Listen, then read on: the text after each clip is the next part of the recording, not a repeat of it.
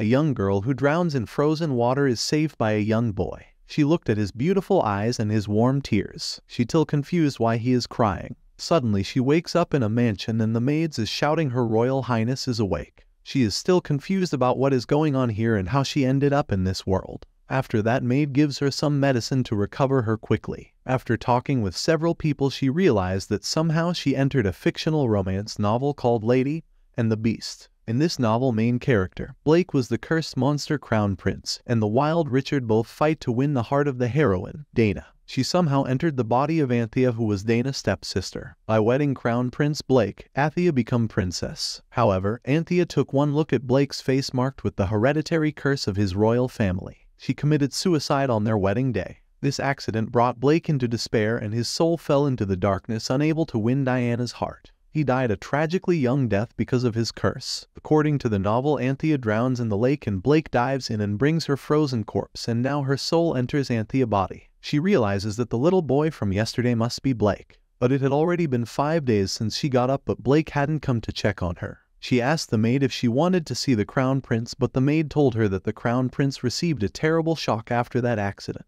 Anthea tells her not to worry about anything and leads the way. On his way to meet the crown prince, Anthea thinks that her favorite novel character in Lady and the Beast is Blake but she can't believe that Diana chose Richard over Blake. But now she ends up in Anthea's body she will try to rewrite Blake's tragically dark childhood besides that Anthea has nowhere to go. Anthea was the daughter of Count Valentia and his first wife, but Anthea's mother died while giving birth to her. Count quickly remarried soon and his second sister Dana was born. The Count treats Anthea harshly and sends her off to marry the Crown Prince. Anthea did not kill her because of Blake's monstrous face. She died because her family abandoned her, so she has no choice to leave this place and is willing to help Blake. When Anthea enters his room, Blake tells her not to come any closer to him or you will get scared. Anthea realized that he didn't hate her but he was just frightened of her. Anthea steps in and flaps a blanket from him, making Blake totally surprised. Blake then covers his face with a pillow telling her what do you think you're doing. Anthea thinks his face will be like a dark fearless seduction type, but instead,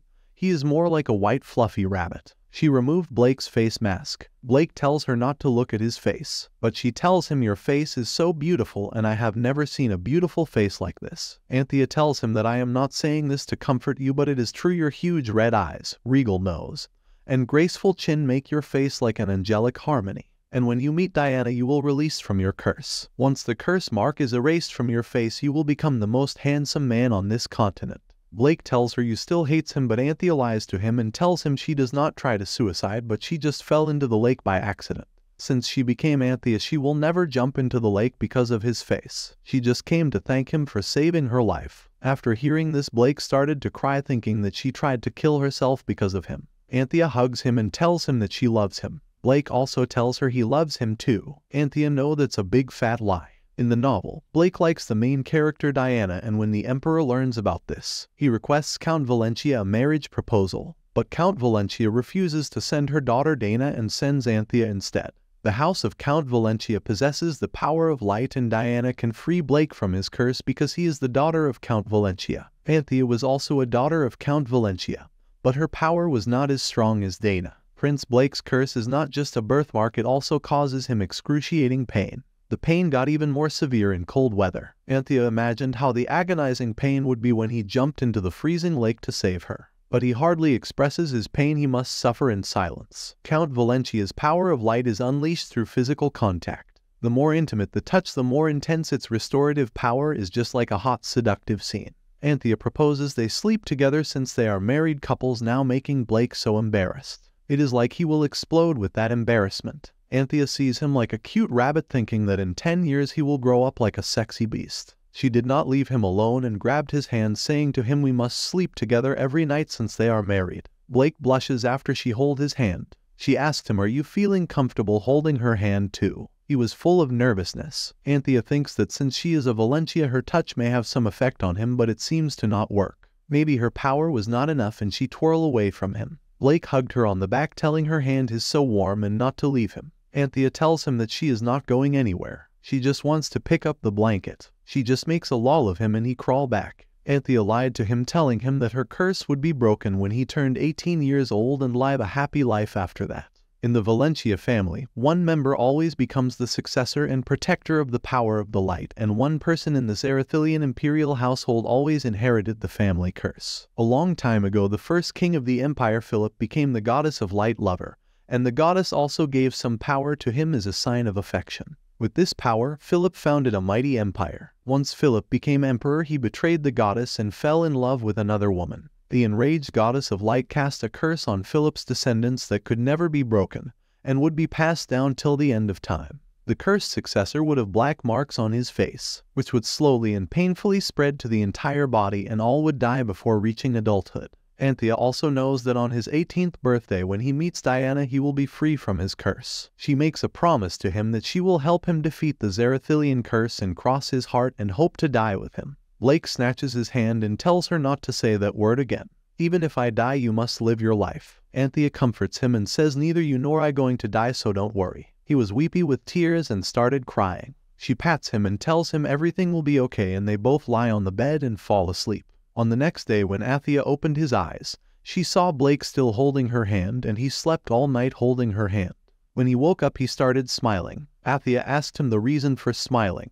He says that because you are lying by side to him. After that, Anthea spent couple of time with Blake and she noticed that Blake did not leave his room unless it was necessary. He just eats and read and there is a peculiar eating habit of only green meal. They only serve him green salad. She asked him what kind of food do you like. He tell he like all kinds of food. Anthea sees Blake eating wilted salad and leftover food. Their only reason may be his staff have no respect for the prince. The current Lord Chamberlain is Brown, the eldest son of the Marquis family who is doing all this. Anthea called maid Melissa and told her to give a message to the Chamberlain to meet in his room there was something she needed to ask him. After some time Lord Chamberlain Brown comes to Anthea's room. Anthea tells him that the quality of the Crown Prince's meals is rather atrocious. But Chamberlain Brown says to her you are new to this and the budget set to maintain the Crown Prince's household is very low. She knows is a big fat liar and she releases him from his duties, which made him very furious. Anthea called Lord Edmund and said to take Brown to the dungeon for embezzlement of the imperial coffers and make an investigation of his crime.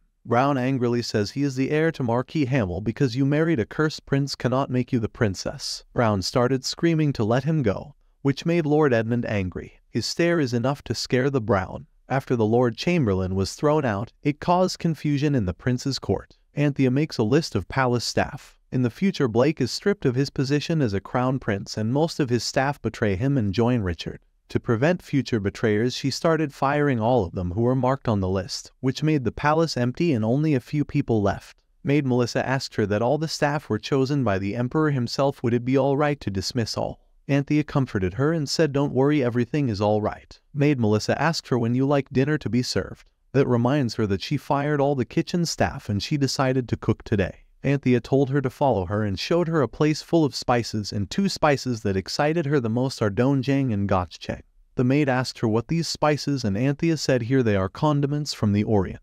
Adding this sauce will enhance the flavor of the food. This make her sad because the kitchen has all these ingredients but they only serve green salad. She started making some delicious food. After some time the dinner was ready. Blake was so surprised after looking at the food. It was so delicious and awesome that Prince Blake thought he entered a new world. His reaction was so cute. Seeing him happy makes Anthea happy. In the novel, Blake suffers three tragedies during his childhood. First, he inherited the family curse. Second, his bride kills herself at their wedding. And last, the death of his father, Emperor Thenston. When Emperor Thenston passed away, Blake's younger brother became the next emperor that is Richard the main hero of the novel and the bastard son of Duke of Carcel. Blake is exiled to a south island where he suffers a horrible childhood. Anthea thinks that the Emperor's death still lies ahead in the future which can be changed. The Emperor has to go to the Valley of Chaos and maybe he return at any time. After that, Anthea notices that Prince Blake loves Korean food and he enjoys them. She wants to make Korean food authentically and she needs a cauldron which is not available here. She drew a picture of a traditional Korean cauldron and she will ask the goldsmith to make one. Now she looking for a good spot to place the cauldron and suddenly a person came and asked her what are you doing here, which made her scared and he sorry her to scared her. Anthea saw his face and knew him instinctively. It was Richard the young boy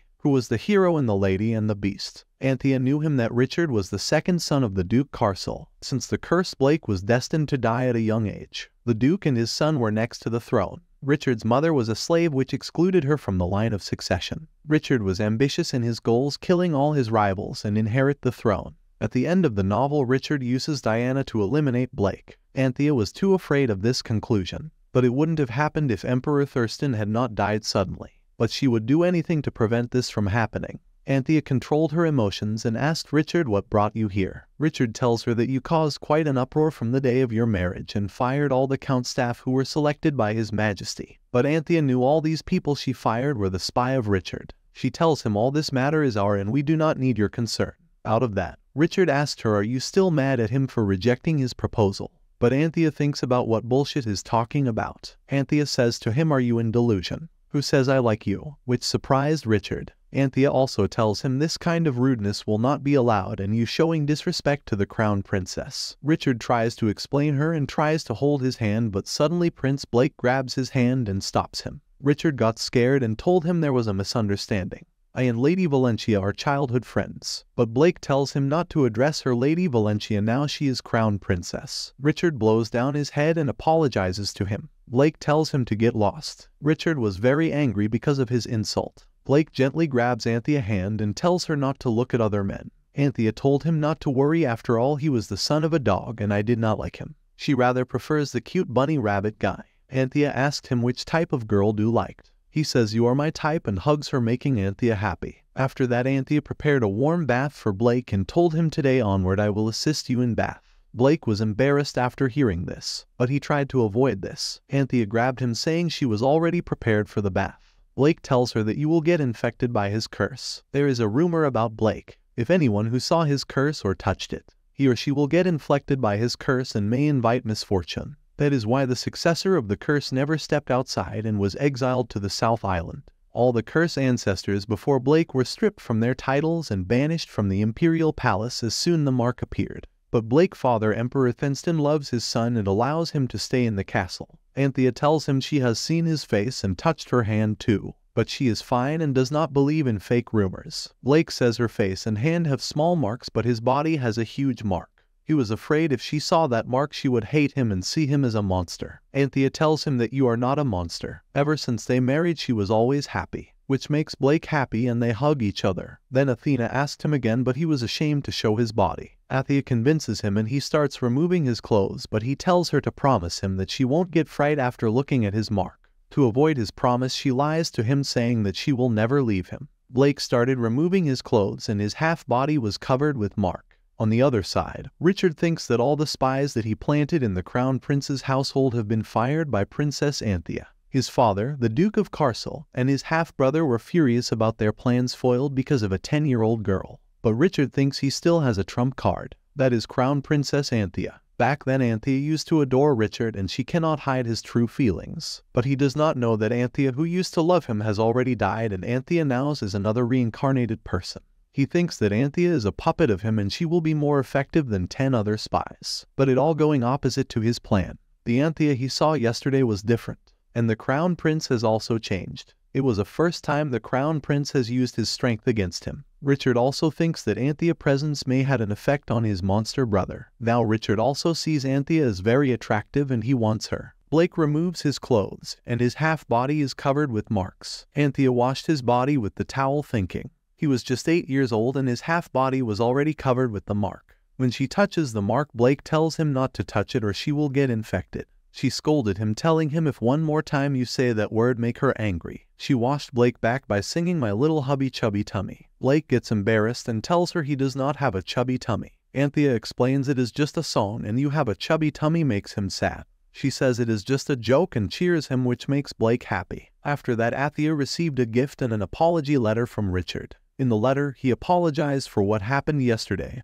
and sent a gift as a token. Anthea feels something fishy or he wants her to become his spy. Anthea tells maid Melissa to send this gift back to him, but think to get quite serious when he sends one gift after another and Anthea refuses all his gifts and returns him. After that servant Han comes suddenly and tells the princess that this time Richard sent a priceless treasure. That is a ring set with mermaid breath which shocked Anthea and think Richard was crazy. Mermaid breath is a mana stone that contains the power of the sea. Only a few exist in the entire world. In the novel, Richard gives this ring to Diana. Anthea thinks Richard will do whatever to make her his spy. In the novel, this ring is described as the most beautiful jewel in the world, but Anthea refuses to take this ring and tells Servant Han to return this to Richard. After a few days, Anthea made Melissa and Edmund go to the blacksmith shop.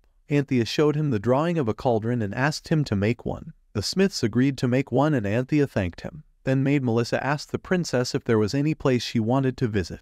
But Anthea said no. She wants to go to the palace because Blake will be worried about her, wondering where did she is go. In the evening Anthea returns to the palace. She was going to her room and she suddenly heard a noise. That was Blake. He hugs her, asking her do you spend a nice time in the town. She said yes and she had a nice day. Blake was worried about Anthea because it got too late for her to return. Anthea was glad she returned to the palace and removed the Blake face mask telling him in this way you will feel more comfortable. Blake asked her why she always wanted to take off his clothes and mask. After hearing this she gets broken. She said it made her happy when she saw his husband's face without a mask. He was very happy after hearing this. Blake was a little afraid thinking that she run away from him and when she returned to the palace made him happy. Anthea tells him she will not go anywhere, but if any chance he falls in love with another one she will not come in their way. Blake was upset with this and told her their marriage was already arranged by his father. Anthea says maybe after some time. When you grow up you may fall for someone else. Blake says to her that she is the only one he loves. Anthea says maybe you love him now but in the future. When you are free from your curse you will become the most handsome man on this continent and the most beautiful woman fall in love with you. But Blake says to her you are his only wife and he is her only husband. Blake hugged her saying that he knew he was very selfish and told her to stay by his side until his death. After listening to this her eyes were full of tears. She started crying saying that she would never say those words again. Blake wiped his tears and suddenly servant Han came and said that Emperor Thenston had arrived at the palace. Anthea knew that someday Emperor Thenston would return. Finally, the Emperor Thenston returns. He is the Blake father and he is the most powerful emperor in all history. Blake asked him if the emperor returned safely. Servant Han says yes. Tell him the majesty has not had a single scratch after defeating the door of darkness. Blake gladed his father to return safe and he put his mark back. Servant Han tells Anthea that the blacksmith has come to see her. She goes with Servant Han to meet blacksmiths. On her way, Servant Han apologizes to her saying her the blacksmith is not the one who called you. She asks him did Emperor Thenston was the one who summoned her. Servant, Han says yes. Anthea had a feeling that Emperor Thenston would want to see her. Besides, Servant Han made this story so that Blake would not get upset. In the novel, Servant Han was willing to risk his life to protect Prince Blake. Servant Han leads Anthea to the Emperor's hall. After Philip betrayed the goddess of light his descendants were cursed for eternity. However, the goddess of light still loved the Emperor Philip, which is why her curse affected only one person from each generation but the imperial court wanted to protect its honor and spread the fake rumors where the curse was contagious that why the cursed successor was banished to the southern island until his death. When the mark appears on the Blake, he should have been stripped of his title and sent to exile immediately. However, Emperor Thenston sent him to annex the palace. The prince was doomed to his early death. He didn't even dethrone Blake. He also does not show any affection to his child. But it was just an act of Emperor Thenston. He did such an act to protect his son. Emperor Thenston loves his son and Blake also has affection towards his father. Anthea reached his destination. She confidently entered the place where the emperor was sitting on his throne. When she looks at Emperor Thenston's beautiful face, she blushed thinking why he was not the main character in his novel. Emperor Thenston greeted her and asked her the reason why she sent Lord Chamberlain Brown to the dungeon. Anthea says that Lord Chamberlain Brown was embezzling the palace fund which is why she punished him. But the Brown father loudly says his son has been loyal and dutiful to the empire. Anthea gives the document and evidence to the Emperor Thenston. When he read the document, he says to the Brown father, It is true that your son stealing from my coffer. Brown father says it will be a conspiracy against his son. Anthea tells him that his son ordered the chief to serve the leftover food and he enjoyed eating streaks to himself. After listening to this Marquis Hamel shouts at Princess Anthea. Emperor Thenston coldly said, Do you want to wish dead? Be careful about how you speak. She is my daughter-in-law. Marquis Hamel says she is the one who started insulting my family. The Emperor Thenston places a sword around his neck which makes him shiver. Emperor Thenston says, Are you going to lay hand on the crown prince? Emperor Thenston going to snap off his head and Anthea closes his eyes and servant Colin tells her to go. But before going Anthea gives a blue crystal him and says this is an animated crystal. It recorded Brown Hamel insulting the crown prince and princess. Servant Colin says he will send it to his majesty. After that Marquis Hamel's hand was severed as punishment for attempting to strike the crown princess, and his son's tongue was cut off for insulting the crown princess and embezzling the imperial treasure. Marquis Hamel and his son were sentenced to 30 years of hard labor, and his family was stripped of its title. Marquis had attempted to strike the crown princess in front of the emperor, and his son treated her with disrespect.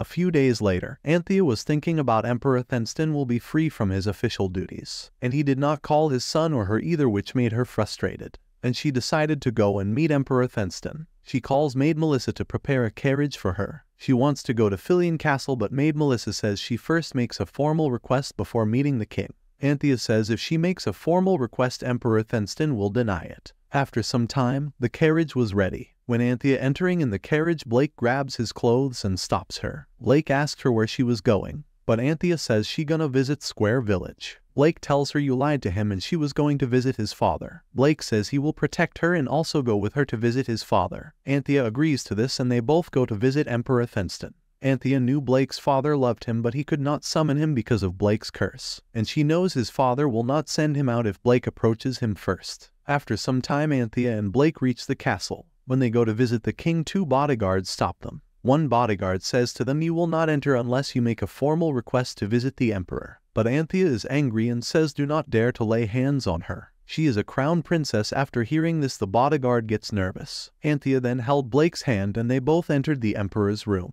Anthea was shocked because Emperor Thenston had just come out from his bath. Emperor Thenston was in a towel and asked them what brings you two here. But Anthea just stared at Emperor Thenston's beautiful face and his six abs. After sending her all the time with her whittle bunny wabbit husband, she forgot that she now entered the fictional fantasy world of an adult romance. Out of mind, Anthea says, Majesty, you have a sexy abs. The girl's tongue cannot be controlled. She says this by mistakenly. After seeing His Majesty's body, she forgets she come to win the trust of His Majesty. She apologized to His Majesty. She had never seen a man before. This moment breaks Blake's heart, and here she just got double doomed. Emperor Thenston wearing his dress says to Anthea it is not a good time for a conversation.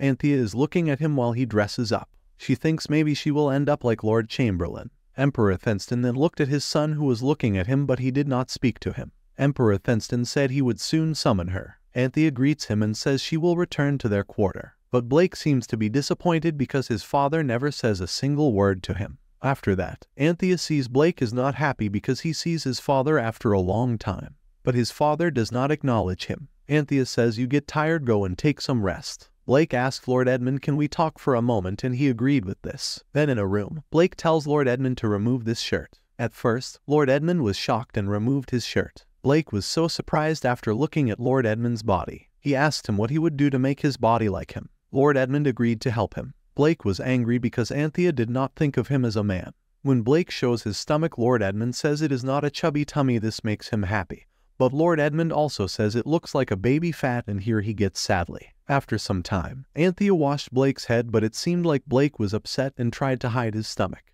Anthea told him the cauldron she ordered would arrive tomorrow but Blake was not happy with this. Blake tells her for now he gonna train himself and that he will not eat until he looks like a man. Anthea remembers she says this word to the emperor and Blake takes this seriously. Blake jumps on the bed and says he will not eat until his tummy is gone. Here, Anthea used her special move, and she tickles Blake and he tells her to stop. And then Anthea hugs him saying that she loves him and asks him to promise her. He will not stop eating. Blake agrees with her and he smiles at her. On another side, a young boy named Unhan enters the Emperor's hall. He was the spy of Emperor Thenston. Emperor Thenston asked him did the crown prince and princess return to their castle. He said yes they returned safely. Emperor Thenston thinks since Anthea's arrive, Blake has changed. First, he used to Shriver against him but now Blake was standing tall against him full of confidence. The Emperor Thenston asked him his opinion on the crown princess, because Emperor Thenston was far away from Blake for a month and he was taking care of the Door of Darkness. Unhan said we can trust crown princess. Unhan has been secretly guarding the crown prince for the past month by the order of Emperor Thenston. Emperor Thenston wanted to see if courtiers would treat Blake badly in his absence. But it seemed like Unhan forgot about his mission and found himself observing Anthea. Maybe he fell in love with Anthea. Another day, finally Cauldron arrived and everyone appreciated Anthea. She just gets embarrassed with this. Anthea decides to cook dinner for all of them and Blake decides to help her in cooking. But suddenly Lord Colin arrived and told her that Emperor Thenston sent a gift and letter to her. Anthea was so surprised she never expected this. The letter has an imperial seal which confirms that this letter was sent by His Majesty. Lord Colin presents the gift sent by His Majesty, but Anthea was still confused by he sent all these gifts without any reason. Or maybe she compliments about his abs. Anthea decides to meet His Majesty. On other days, she gets dressed up to meet His Majesty. She just looks like an angel. When Blake saw her, he was stunned by his gorgeous look. Blake praised Anthea, telling her she is looking so pretty. Anthea thanked him and Blake said good luck to her. After that, Anthea meets Emperor Thenston and thanks him for his all gifts. Emperor Thenston asked her if she cared for the crown prince. Anthea says yes and the crown prince is her husband. Emperor Thenston also says many people despise him because of his curse. But Anthea told him those people were misled by false rumors and asked him do you love your son? Emperor Thenston asked her why she was so certain about his love for his child. She says if you hate your son, you wouldn't be sending a gift to his wife. But Emperor Thenston tells her the gifts are the compensation for handling the Marquis Hamel incident. Emperor Thenston says let's enjoy some tea. Anthea was surprised by the look at the dessert and when she tasted it was so delicious. Anthea also says Prince Blake also likes dessert. Emperor Thenston says he will send some dessert to the crown prince, which makes Anthea happy and she thanks him. Emperor Thenston told her that he heard you have a deep knowledge of Oriental culture. Anthea knows she cannot fool Emperor Thenston easily and she comes near to Emperor Thenston and says she is gifted in language and she can understand different languages from all over the world. Emperor Thenston says so you have knowledge of Oriental culture and she says yes father. The Emperor Thenston asked her why she called him father. Anthea says because she married his son that is why you became his father-in-law, in short father. Emperor Thenston agreed with her and said if is there any problem you can meet him. After that, Anthea prepared the food by using a cauldron and everyone was amazed with her cooking skill. And Unhan was watching all this secretly. Unhan fell under the love of Princess Anthea. Unhan is an emperor's shadow and his existence is unknown to the outside world. His life was saved by Emperor Thenston. That is why Unhan became his loyal shadow and carried out secret missions, and he never failed in his mission. However, this time Unhan cannot control himself because of the smell of the food inside the cauldron and Unhan decides to have one little bite from the cauldron, and he silently goes towards the cauldron. When he reaches and goes to take a bite, he heard the noise of someone coming. It was Anthea and she was surprised at how the gamasot lid opened, and she noticed it was a cat. It was Unhan who turned into a cat. Cat weepy with tears and meow. Anthea thinks the cat must be hungry, and Cat stares at the cauldron and Anthea decides to feed him some food. Anthea gives some food to the cat. She watched him while he ate, and she cuddles him because of his soft fur. And suddenly Blake came and asked Anthea why you held this cat like this. Anthea say she was so nice and gentle. Blake asked her if the cat was he or she. Anthea gets curious and goes to check if the cat is he or she. The cat gets scared and runs immediately. After some time, Anthea comes to meet Emperor Thenston.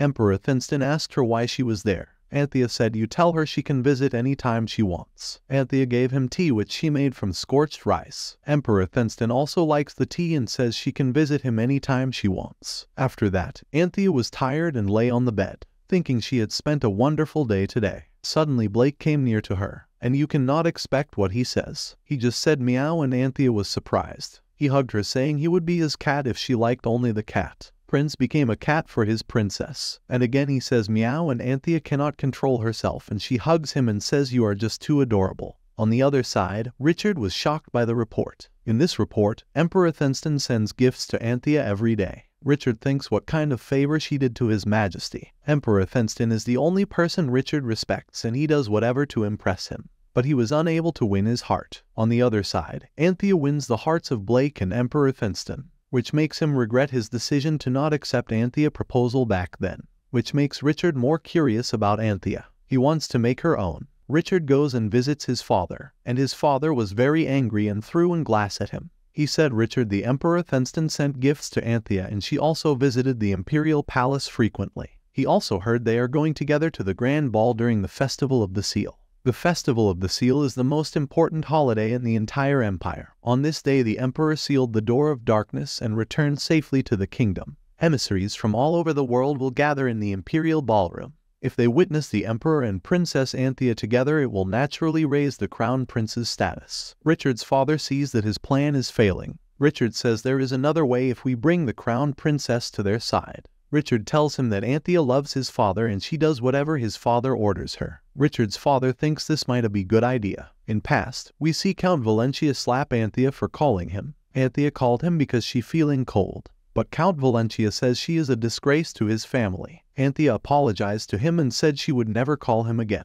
But his father says that the only way she helps Valentia's family is by just dropping dead. We can see Anthea's father is a very trashy person and evil too. And suddenly Anthea woke up, and Blake asked her if she was alright. Anthea realizes it is a dream, a nightmare where she saw some fragment of real Anthea's memory. Blake says because of his curse she had a bad dream, but Anthea hugged him and thanked him for staying by his side. In Count Valentia's family, Anthea's father heard the praises of Princess Anthea from the different people, he was crept about these facts and never heard this thing from Anthea. He thinks of using Anthea for his benefit. And suddenly a servant came and told her the Duke of Carcel wanted to meet him. Then Count Valentia meets Duke and they greet each other. Duke says he heard a lot of praise of Princess Anthea. Count Valentia says Anthea is an obedient child and she even risks his life for him. Duke asked him if your younger daughter was as well bred as her older sister. Count Valentia says Diana is better than her and she is his pride and joy. Duke proposed to him that he would love to have his younger sister as a daughter-in-law.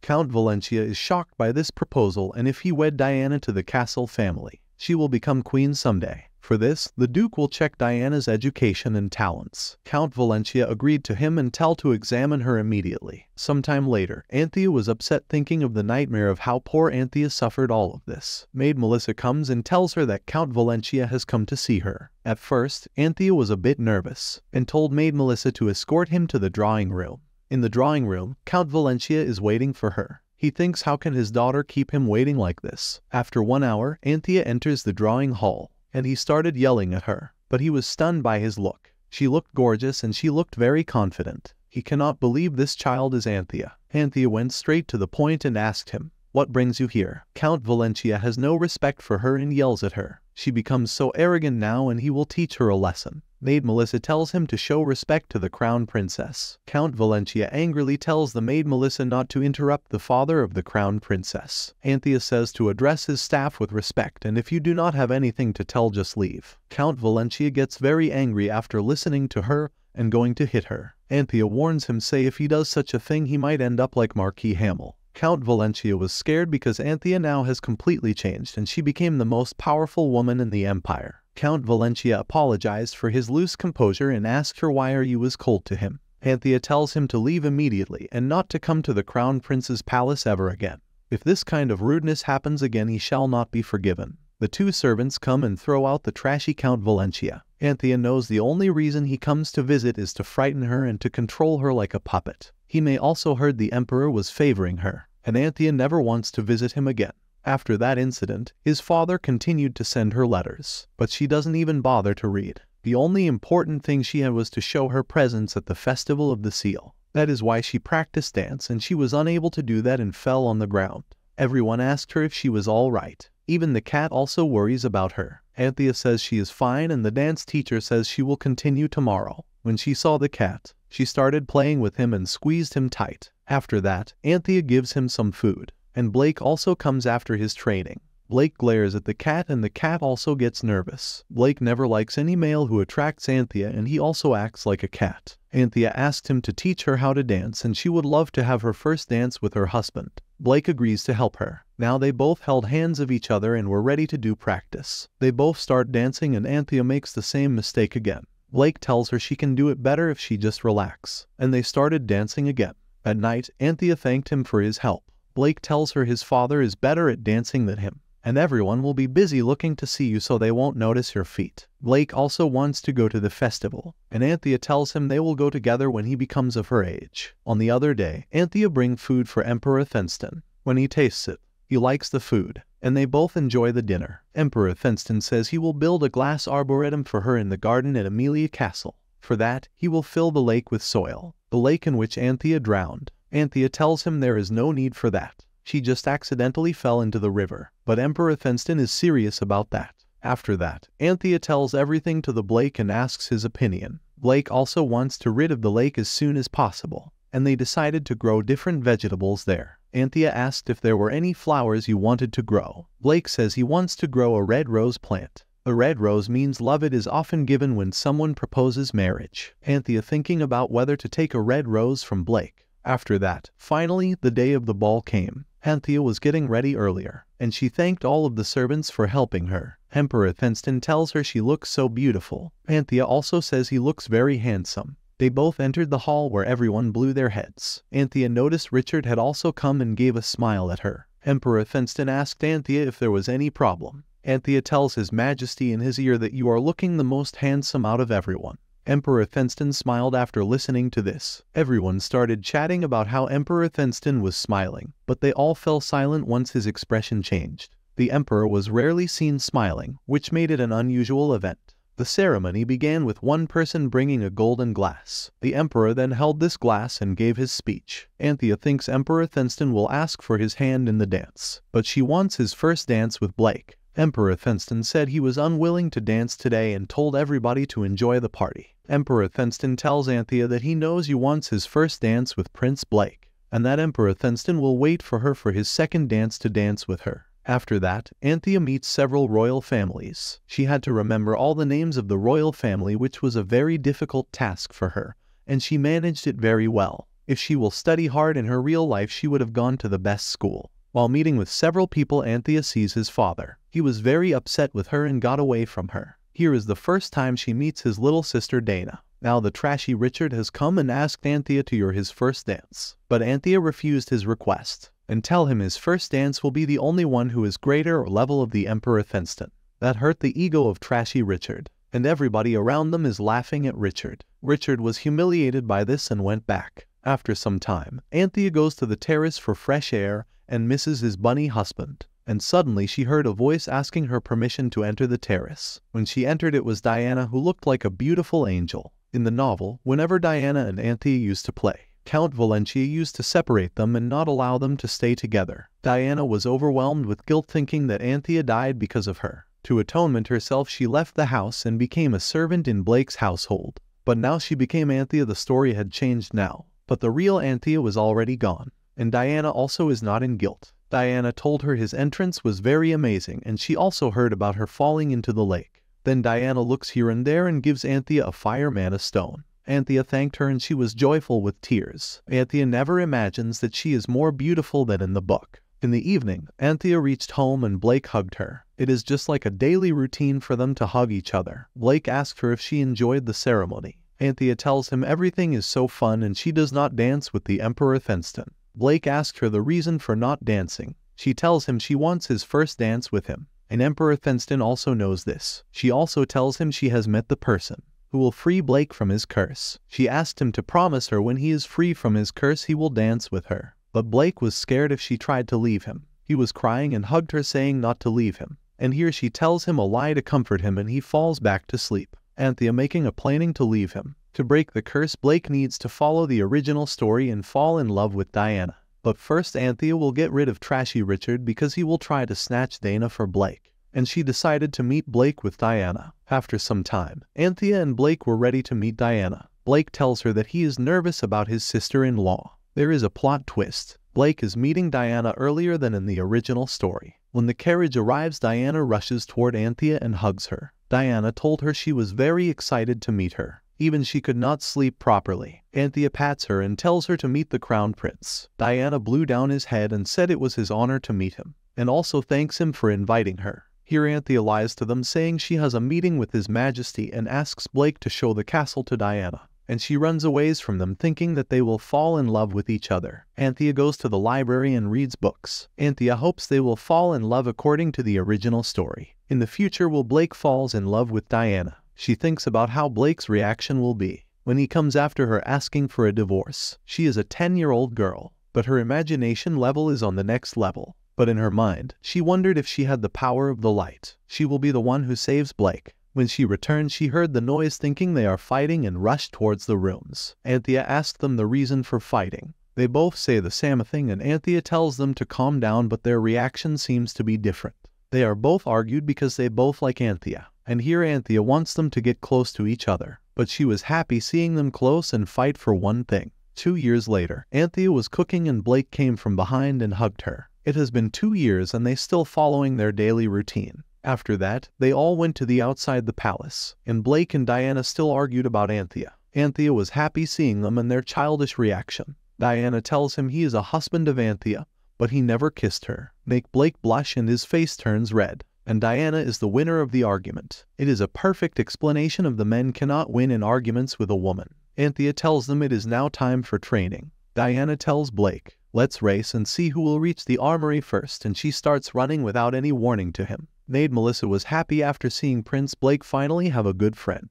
When Anthea hears this she thinks in her mind that Diana will only become Blake's friend and not more than that, which makes her relieved. Form his bottom of his heart. She wants to stay with Blake. She had now everything. His bunny husband, most caring and lovable father, and a cute little sister Diana, and every person important to her, and she decided to stay with Blake. Anthea tells Maid Melissa to let go together in the Imperial Palace to His Majesty. In the Imperial Palace, Anthea tells everything to His Majesty and Blake, how they can break the curse. Emperor Thenston cannot believe Anthea's words. In a room, Blake and Anthea are arguing about her suggestion. Blake tells her that he just wants to stay with her side. Anthea realizes that Blake just wants them to stay with her and he does not think about his curse. After that, two more years have passed now and there are so many changes happening in the Crown Prince Palace. The Arboretum was built on the top of the filled-in lake. Some new servants are joined which they can trust. And here your main lead looked at the realms as the most powerful female of the empire. Emperor Thenston gave her the Cephia Palace and also gave the office room on the third floor of the Imperial Palace. Anthea is going to the office room but it is not an ordinary office. The office has a secret room in which it was filled with ancient books and text. It also has books on light magic and the cursed. It is a palace where Anthea does secret research to break Blake's curse. A thousand years ago there was a nation called Jelken, but it was brought down by Philips and the Empire of Asterik was founded. Since then ancient language used in Jelkan has disappeared and remains a mystery to scholars even to this day. In the novel, Richard uses this fact to fool the Emperor he spread the rumor that there's ancient black magic that can move curses from one person to another. Emperor Thenston falls for his tricks and offers himself to save Blake. The result ends with his death, and Anthea does whatever to stop him. To stop this from happening, she needs a secret weapon just in case. Anthea was scared when she heard someone come into the room, but she is relieved and smiles after seeing her father, Emperor Thenston. Anthea was normally greeted by praising his majesty each time they met. Emperor Thenston tells her to take a break, because she never takes a rest and always researches in how to break the Blake curse. Anthea tells him it is never a chore when it's something you love. Emperor Thenston pats her and says he is saying it for Anthea's own good. In the training hall, Blake and Diana do sword fighting. They both are doing their best at win. They both get tired after a long time of training, where Diana asked him why he was going easy on her which Blake tells her because she is Anthea's little sister, where Blake also asked her the same question, and Diana says because he is Anthea's husband. They both go easy on them because of Anthea. Blake asks her why she wanted to become the knight. Diana tells him the reason because she wants to become strong to protect his sister. Blake asks her to take care of Anthea if he died. Diana gets angry with this and tells him she will be devastated by this. But Blake is worried about his curse, and Diana tells him the curse will be broken someday. Diana tells him to take an oath of knight honor to protect Princess Anthea. Then Blake vowed to protect Anthea and Diana was happy to hear this. After some time, Blake was sleeping after his training and Anthea looked at him and tousled his head. Blake was happy to see her. He tells her that he always had a good dream when she was with him. When Anthea was not there with Blake, he always had a bad dream and nightmare. But now she is with him. He never had a nightmare again. Anthea thinks Blake gets tried for his training and she pats him like a baby. Blake tells her he is not a baby. Anthea tells him she always looks at him like a baby. Blake was shocked after hearing this and devastated too. Anthea never leaves a chance to tease him. She became like a thug now. The other day, Blake was a little upset after seeing his height. Even Diana becomes taller than him. Anthea come tell him at a lunchtime. Blake disappointingly says his height is not growing. Anthea tells him his height is growing and he just needs to eat and they both go to lunch. In the novel, Richard was about six feet tall and Blake was a bit shorter than him. In Count Valentia's house, Diana was doing practice with his wooden sword. While she was training, his father suddenly entered the room and asked him what she was doing. Diana hid his sword behind his back and said she was doing nothing. Count Valentia found something suspicious and grabbed her hand and the sword fell. Count Valentia tells her that high society is laughing at him because of what Anthea said. He wants Diana to marry into the Carcel family so she can become a princess, and become a successful lady. He asked her to tell him everything that happened at the Crown Prince's palace, and to hide an animated crystal there the next time she went. Diana was very scared of his father. On the next day, in the Crown Prince's palace, Anthea and Blake are having dinner. Blake was confused after seeing a sprouting dish and asked Anthea. She tells him it is a bean sprout soup that will help you to grow your height. At first, he was hesitant to eat, but to improve his height, he started eating and whole reaction changed because it was so delicious. Diana was secretly listening to all this and going back to the Count Valentia. His father asked her why she brought the animated crystal here. Diana told him it was broken. Count Valentia asked her how far has the crown prince curse progressed. Diana says she does not know either. Count Valentia shouted at her saying she couldn't even do anything right. Diana gets scared after listening to this. Count Valentia gets very angry and throws out Diana's wooden sword. Diana stops him and says that this sword is given by Anthea. It is special to her. With some little courage, Diana tells him she wants to become a knight and wants to enter the academy next year and she also doesn't want to do his outlandish thing anymore. Count Valentia slaps Diana. After that, Diana was in the carriage going to the crown prince's palace. Diana was very sad and carrying the animated crystal, thinking of the yesterday night, how his father beat her and gave her a last chance, or she would marry straight off to Count Cornwell. Diana does not want to do this, and she wants to tell everything to Anthea, but she has no courage to tell her and does not want to involve Anthea thinking it is all her fault. We see Anthea looking outside the window, and it is snowing outside. Suddenly, Anthea notices Diana. Diana is very upset and says something. Anthea asks her if it is all right or not. Diana suddenly changes her expression and tells Anthea, let's have a snow fight. After some time, Diana and Blake play snow fighting with Maid Melissa and Anthea looking at them through the palace window. Maid Melissa asks Anthea to go play with them, but Anthea refuses, saying she is not fond of the snow. Maid Melissa convinces her and asks her to join. Then Anthea also goes outside and joins them. I wonder if the Blake curse will not get triggered in the snow. Maid Melissa is very happy to see them. After playing with snow, they enter the palace, where their clothes become wet. Anthea tells Diana to remove her clothes because they get wet but Diana refuses, saying she will clean her clothes when she reaches home. Anthea noticed Diana's leg was hurt, and her cheeks seemed swollen. Diana says she is fine, but Anthea holds her hand and tells Diana to tell her the whole truth. Now Diana is in a panic situation, and she does not want to let Anthea know the whole truth. But after listening to her sister, her eyes are full of tears. She cries in Anthea's arms and tells everything to her. Anthea tells Diana that she should have already told about this situation. Diana was scared of the truth because she was afraid Anthea would not want to see her again. Anthea tells her she will never get angry with her, and she always adores her like a little sister. Anthea thinks if there was a real Anthea there, she would also never hate her little sister. Diana thanked her, and Anthea saw Diana smiling again. I was also relieved and very happy. After that, Diana fell asleep, and Anthea stayed beside her. Anthea had never imagined that Count Valentia would hurt Diana, and beat Diana to become his spy and watch over her. Anthea was very angry, thinking she might have to take care of Count Valentia first. Suddenly, Blake came, and he asked if Diana was sleeping. Anthea says yes, and she will stay with Diana for tonight. Blake tells Anthea it was not her fault, so do not worry. Anthea thanked him for supporting her. In the evening, Count Valentia tries to enter the Crown Prince's palace, but Butler Han stopped him, saying it was the Crown Prince's order not to let him enter. Now we see Servant Han is prompt to the head butler. Count Valentia was very shocked after hearing this, saying it was not Anthea but a monster who is stopping him from entering the palace. Lord Edmund tells him to mind his manners, but Count Valentia gets very angry and try to enter the palace forcefully. Lord Edmund stops him and warns him not to try to enter the palace. Prince Blake came and asked them what was going on there. Lord Edmund tells everything to Prince Blake. Prince Blake tells them to escort Count Valentia to the Arboretum. In the Arboretum, Prince and Count Valentia are having tea. Count Valentia is very nervous because even Blake is his son-in-law.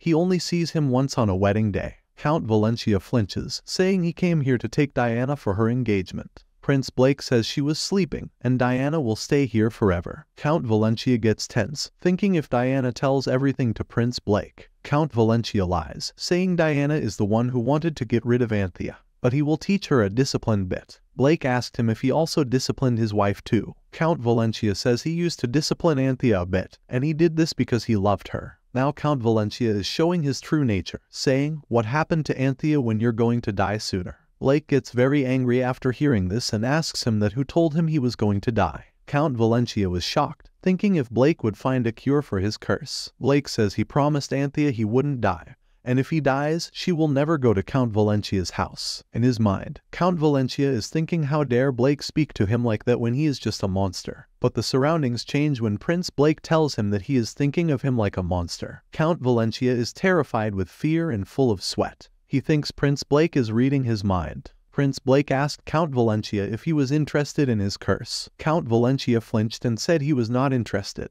Blake grabs his hand and says it is a goddess's curse. It's like a disease, which means it can spread to anyone if he touches it. Count Valentia gets scared and says it is just a fake rumor, but Prince Blake gave a devilish smile saying it was not a rumor. After hearing this, Count Valentia gets very scared, screaming loudly, thinking he will also get the Blake curse. He just imagined his hand getting infected. He will suffer like Blake and have a horrible death.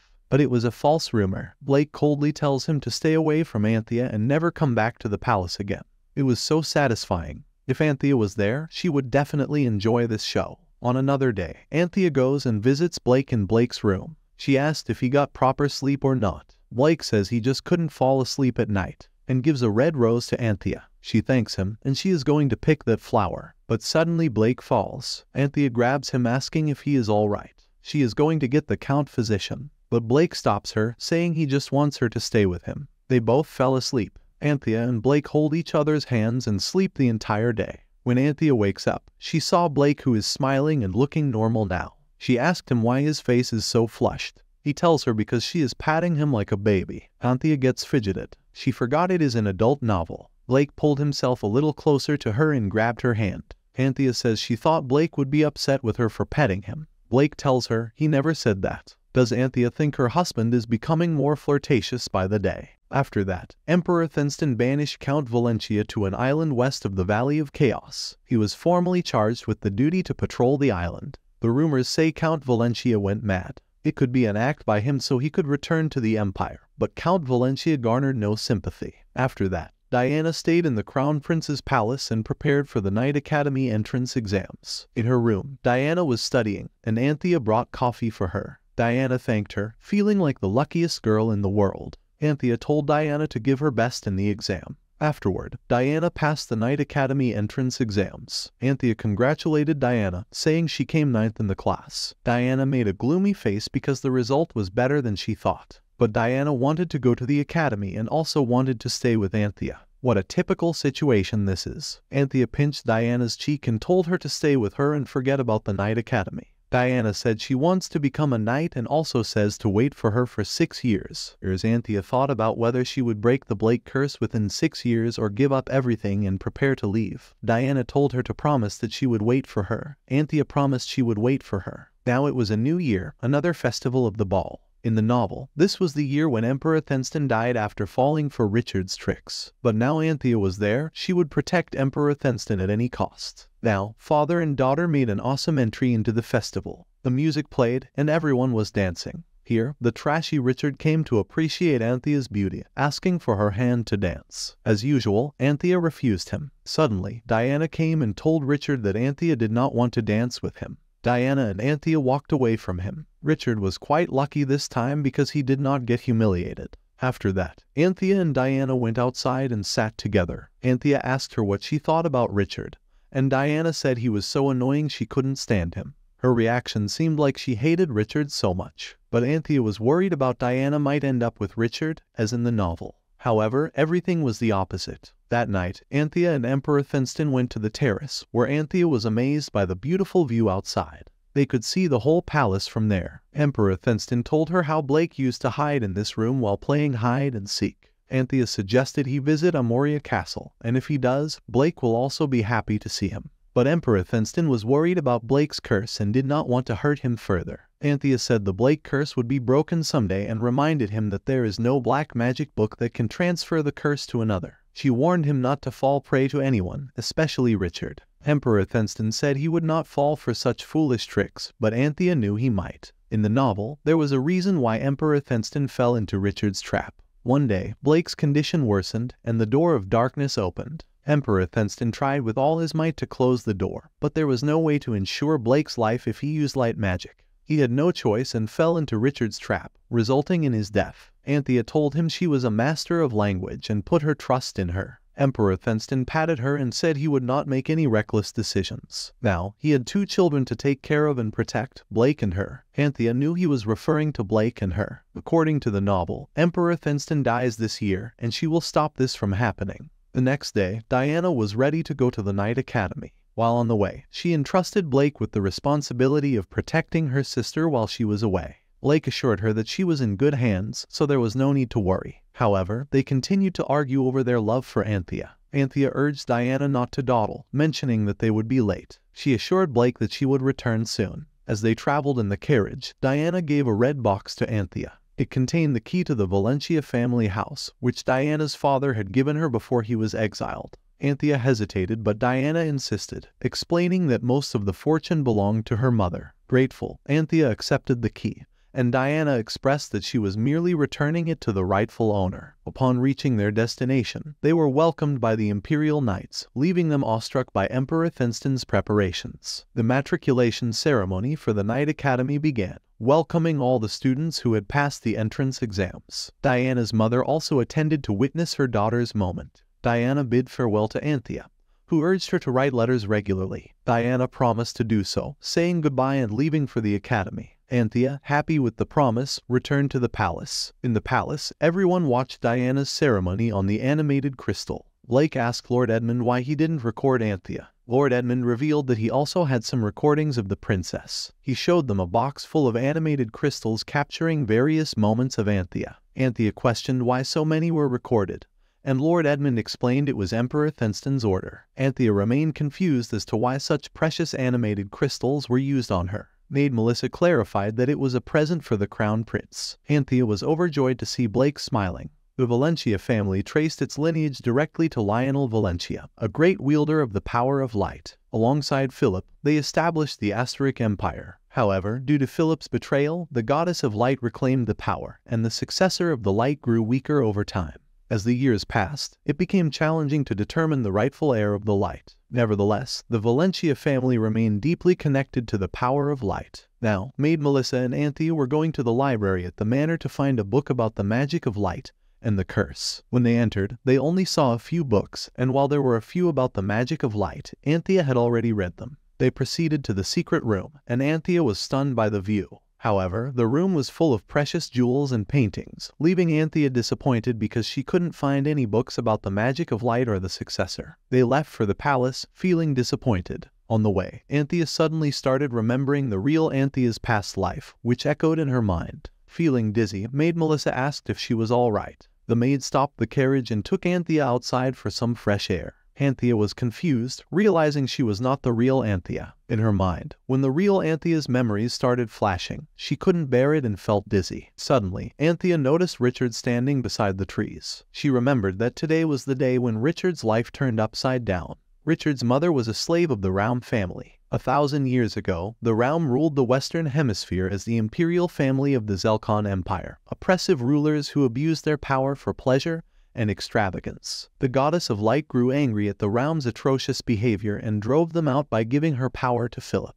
The Zelkon Empire fell, giving way to the Asteric Empire, and the realm were demoted to slaves. Even a thousand years later, their family remained scorned. When the Duke's wife was pregnant, Duke Carcel impregnated the beautiful slave of Raum who was Richard's mother. At first, the Duke raised the boys as slaves, but he also had a soft spot and accepted Richard as his bastard child, impressed by Richard's intelligence. Richard was happy to hear this and vowed to study even harder to gain more attention from the Duke and ask him for his mother's freedom. However, his hope didn't last long. One day, his mother's condition worsened, and Richard went to the Duke to ask for a doctor. His mother assured him she was all right, but Richard went to the Duke and revealed everything. The Duke asked if she had tansinol, but Richard didn't know. The Duke told him to get out, and Richard had no choice but to leave. Afterward, his mother died, not from infection, but the Duke ordered his men to drag her out to the garden and kill her, following his orders and burying her there. Richard was released from the shed after confirming he did not have tansinol. His big brother laughed at him, asking why he wasn't buried alongside his mother. However, Richard went straight to the study and found all the books that mentioned tansinol. Richard discovered that tansinol was an infectious disease originating from the Raum family. It was highly contagious and fatal, causing black spots all over the body, a ghastly face, and coughing blood. It was considered the second generation of the curse of the goddess of light, resembling that of the cursed successor. The more books Richard read, the more certain he became that his mother did not die from Tansinol. People assumed Tansinol when Raum got sick, making them eager to kill them. That's why his mother had no choice but to endure the pain, and she told him not to tell anyone. Richard believed his mother died because of him. After that day, Richard became a completely different person. He vowed to take revenge on Duke Carcel and his family, intending to strip the Duke of everything he had, kill him in the most excruciating way possible, and claim the throne for himself. Richard swore to make all those who looked down on him for being a slave kneel before him. Now I understand why Richard is evil. He lost someone precious that he loved. He was not an evil person, but his surroundings made him evil. When Anthea approached him, Richard gave a weird smile, as he never expected Anthea to come there. Anthea commented on the beautiful tree, but Richard corrected her, revealing it to be a tombstone for a Raum lady. Anthea was surprised that he mentioned the Raum family first, noting that Richard didn't even tell this Diana in the novel. Anthea asked if he knew her, but Richard lied, saying no, he had only heard that she died of Tansinol. Anthea tied a cloth on the tree, and Richard questioned her in a hushed voice about what she was doing. Anthea explained that it was a way to pay respect at a Raum funeral.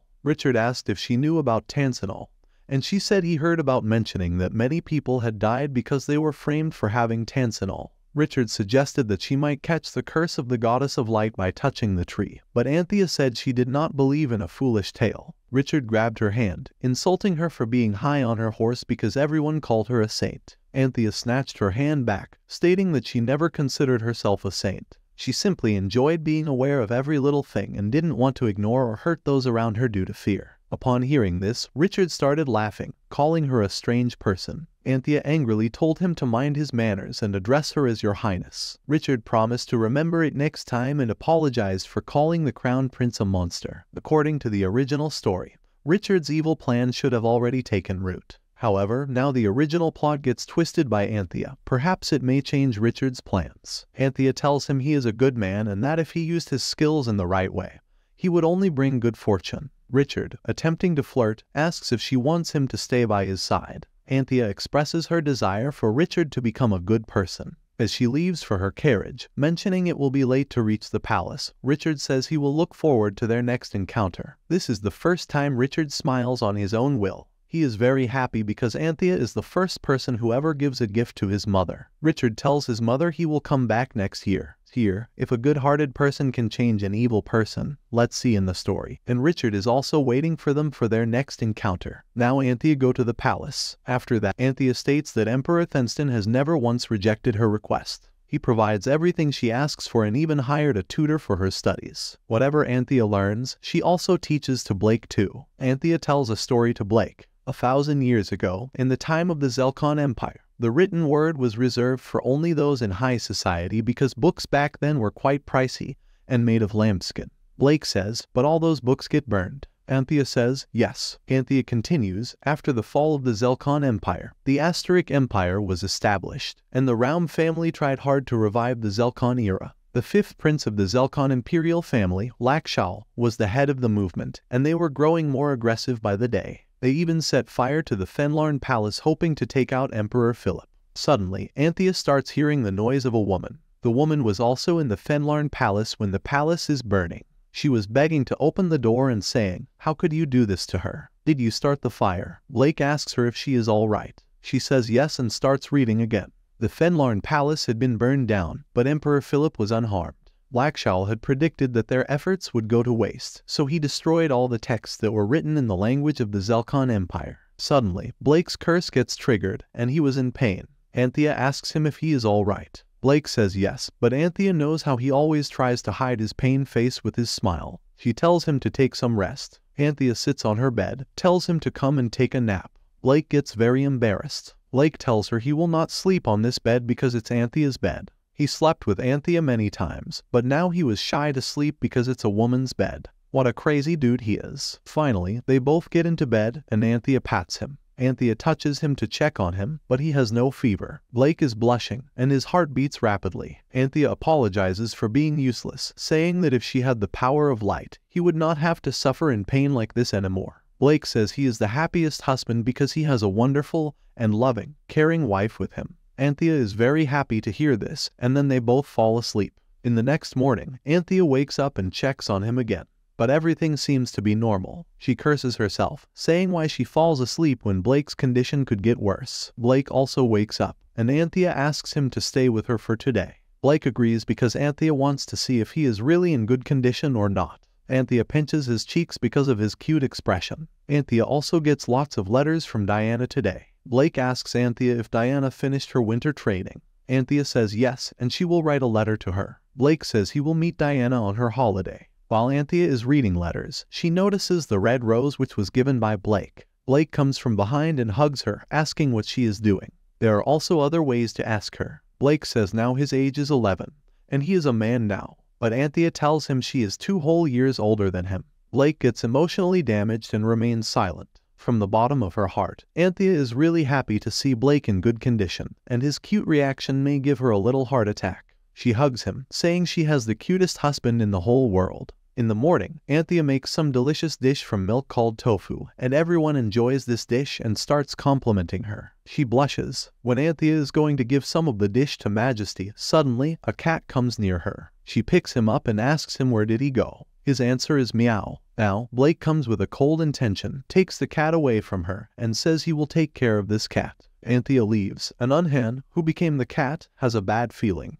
What's going to happen to him? He tries to run away from Prince Blake, but it seems like he can't move. It's like Prince Blake has done some magic on him. Prince, with a cold glare, asks him who he is. Unhan is in very big trouble. Blake says he knows him, he was not a cat. Unhan cannot hide his personality now. Blake asks him why he always snoops on him and Anthea. It only reminds Blake of a mysterious person who appears and heals him every time he is sick when he was young. When Blake got his mark, he had been banished to the annex, and he could not sleep at night because of his curse. Every night he was tormented by nightmares and the pain ripping through his skin. He called his father for help every night, but he never came. Suddenly, a man in black appeared. He healed Blake even when Blake was in pain. He now knows this man by his scent, and he smells the same scent from that cat. Unhan thinks Blake already knows but him. He reveals himself and greets him. He reveals his name and that he was a loyal servant to Emperor Thenston. Emperor Thenston had ordered him to protect Prince Blake in secret. Blake never expected that his father is the one who sent Unhan for his care. Blake asks him why he reveals himself when he was supposed to guard him secretly. Unhan apologizes, saying he was just attracted by the crown princess's food, and that food reminds him of his hometown. Unhan was going to report this to his majesty and receive his punishment. Blake tells him not to do that, and he will not like it if he gets punished for guarding him secretly. But Blake comes closer to him and tells him to never get near Anthea ever again.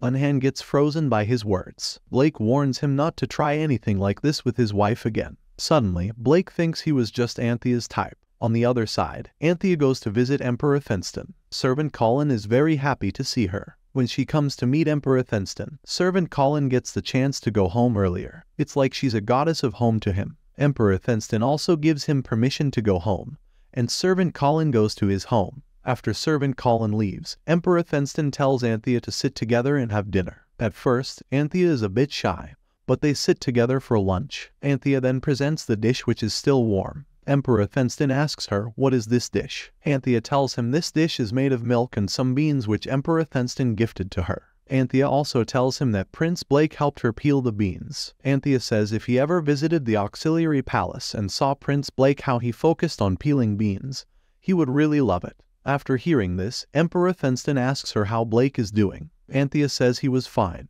She is very happy to see Emperor Thenston is always worried about his son. Emperor Thenston also asked about her condition. Anthea said she was alright and then they started eating. I can feel my mouth watering just by looking at the tofu dish. After dinner, Emperor Thenston asks her if she wants anything. But this time, Anthea will not refuse this chance. And this time, Anthea's demand is very dangerous. Anthea says she wants to go to the Fenlarn Palace. Emperor Thenston is shocked after hearing this. In the past, the Fenlarn Palace was the last imperial palace of the Zelkon Empire, and the first imperial palace of the Astaric Empire after bringing down the Zelkon Empire, known for the persecution of the people out of indulgence and hedonism.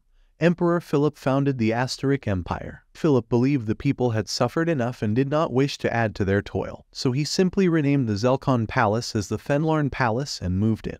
However, his good intentions only brought tragedy. Lakshal, the last Zelkon imperial prince, used the secret passageway in the Fenlarn palace to raid it and set it on fire. The overwhelming flames persevered for over a month, consuming not only the Fenlarn palace but also the region of Khan, the capital of Zelkon, in its destructive path. As a result, the Fenlarn palace, along with Khan, became forbidden land. Now, in the present, Emperor Thenston asks her the reason to go to the Fenlarn Palace. Anthea says she might find some clues about the lithography at the Fenlarn Palace. The reason why Anthea wants to go is that she had a short vision scene during class with Blake a few days ago. A woman screams, the scorching blaze of fire, a space splendidly decorated with jewelry and lithography. This must have been in the Fenlarn Palace, that's why she wanted to go. Emperor Thenston tells her that the land in the Fenlarn Palace was completely consumed by a great fire and contaminated by dark magic, and he will not send her off to such a dangerous palace. Anthea says she will only visit the Fenlarn Palace and won't take a long time.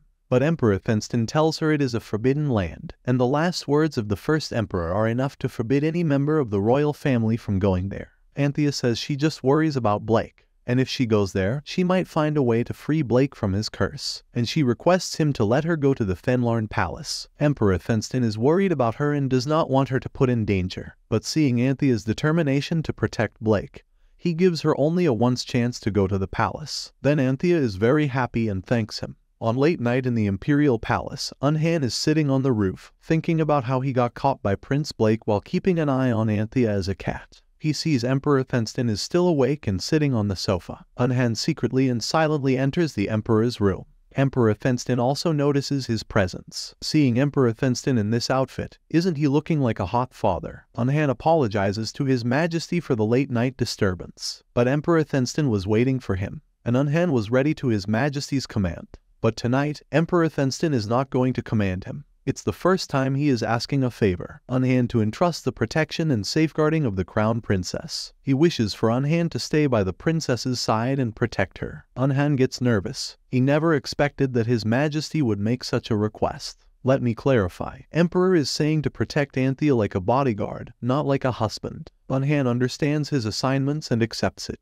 He also says he will protect Crown Princess if His Majesty will not tell him to do. Emperor Thenston is happy to hear this and thanks him. After that, the day had finally come when Anthea would go to the Fenlarn Palace. But first, she wanted to keep this fact from Blake. Anthea lied to him, saying that she is going to the Imperial Palace and will be back late. Blake, with a smile, told her to take her time with zero doubt. Anthea, feeling guilty, asked him to take care of himself while practicing swordsmanship. Finally, they both held hands, and Blake told her to have a safe trip, making a single person like me jealous. But I'm happy to see them together always. When Anthea was in the carriage, Blake waved goodbye to her. Isn't this scene cute? While going, Anthea prayed that she would find a clue or cure to break Prince Blake's curse. When she reached the Imperial Palace, she went straight to the secret room on the third floor. There, she was totally surprised because his father was already there waiting for her with an unknown person. Anthea apologized for being late and asked his father who that unknown person was. Unhan, who already knew her, was nervous. Emperor Thenston introduced that person as Unhan, who would escort her to the Fenlarn Palace. Anthea was still confused, wondering that she had met him before. Dear Anthea, Unhan is a cat you used to play, hug, and feed him. Unhan kneeled down, greeting the crown princess. Anthea also remembered him not as a cat, but as an imperial prince of Chang. In the past, Unhan was the imperial prince of Chang a great grand empire of the East. He was about to be executed because he was chosen by the ominous Black Dragon. He fled all the way to the Astaric Empire, and Emperor Thenston discovered the battered Unhan and healed him. Emperor Thenston took in Unhan, who was in a predicament similar to him, and truly cared for Unhan. Unhan, in turn, devoted himself faithfully to Emperor Thenston. Unhan followed Emperor Thenston's command and protected Blake. When he would get sick, Unhan would even heal Blake. That's why Blake also remembered him but as a mysterious person. Unhan was the shadow planted by Emperor Thenston to protect Blake. Now, in the present, Emperor Thenston told her that he had entrusted Unhan with the security of the Crown Prince. He apologized to her for not telling her sooner, but Unhan took all the blame of Emperor Thenston on him and said it was his fault for not telling her this sooner. Anthea thanked him for keeping his highness and her safe. Emperor Thenston gave her a present, and Anthea asked him, what is this? Emperor Thenston said it's a present that will protect her. It's a purity tool made in a temple, and it will help protect her against dark magic. Anthea thanked him for such a precious gift. Emperor Thenston said Unhan would use his magic to teleport her to the Fenlarn Palace, and he would go with her. If he or she encountered any danger, then return immediately. Anthea saw his father, who always worried about her, saying his father's face is a national treasure, and Unhan also agreed with her. Now his father controlled his laugh, where Anthea knew that the father and son were so weak to compliment.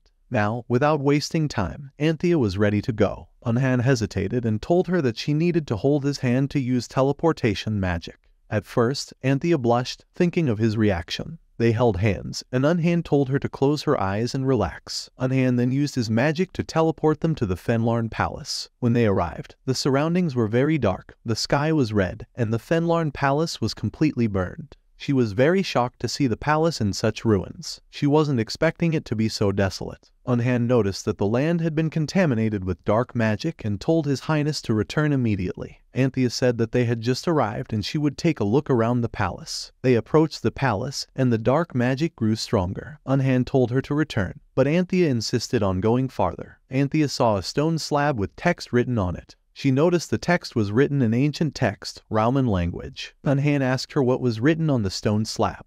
And Anthea read, The great emperor of Raum, Lakshal, let it be known. The heavens chose the great Raum, and Raum followed the heavens' wishes to establish the Zelkon Empire, and nurture it into a great empire. However, its people were ignorant and ungrateful, jealous of Raum's power, and amongst them, Philips, with power received from the goddess of light, destroyed the Zelkon Empire and founded a new empire. In the year 687 of the Empire, on September 1st, Lakshal planned to bring down the Altera Palace to restore law and order. I shall punish Philips and the wicked group that dared to covet Raum's seat. Foolish subjects, submit yourselves to Raum. If you refuse, everything Raum has bestowed upon you will be taken away. The land of Khan shall be enshrouded by darkness and forever erode away in suffering. Anthea read what the stone slab said. Unhan was also surprised by her skill. Anthea asked for his opinion about the text, and Unhan said it was pathetic and heinous. He asked for her opinion on this stone slab, and Anthea said that the stone slab criticizes Lakshal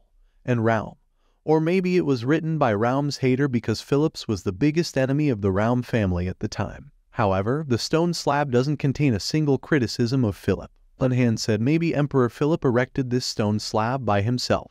Anthea agreed with Unhan's point, and there is a good chance that this stone slab wasn't erected by Lakshal, or a member of the Raum family. It was probably done by Phillips. When Anthea touched the stone slab, the purity tool glowed bright, and she got a vision of a woman asking Philip, What is this stone slab? How could he do something like this so inhuman? Philip got angry and told her to watch her words, stating that he is an emperor now, and if any misguided disrespect continues, he will not forgive her. Unhan woke up Anthea from her vision and asked her if she was all right. Anthea said she felt very dizzy, and Unhan told her it might be happening because of dark magic. He told her they should head back now, but Anthea insisted on staying a bit longer here. Unhan told her that His Majesty gave an order to return immediately if she or he finds any danger. But suddenly Unhan felt something dangerous, and he carried Anthea on his arm and apologized to her for his rudeness and started running. Anthea was also shocked by Unhan's reaction. There they noticed a bunch of demons surrounding them. And our video ends. In the next part, we will see whether they are going to fight with the demons or if they will simply avoid the demons and run away for their lives. Thank you for watching our video. I hope you like this video. For the next part, click on the left side of this screen. Please like our video and subscribe to our channel.